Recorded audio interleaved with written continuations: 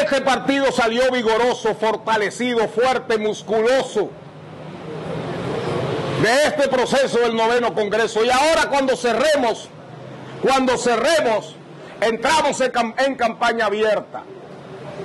Dos años cumpliendo con los mandatos del noveno Congreso.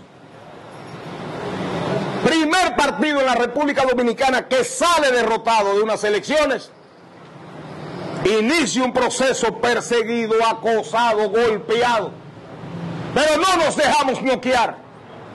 No pudieron meternos la, ¿cómo era que se llamaba la llave de veneno? Con la polémica pudieron. Y nos fuimos con el gobierno máscara contra cabellera.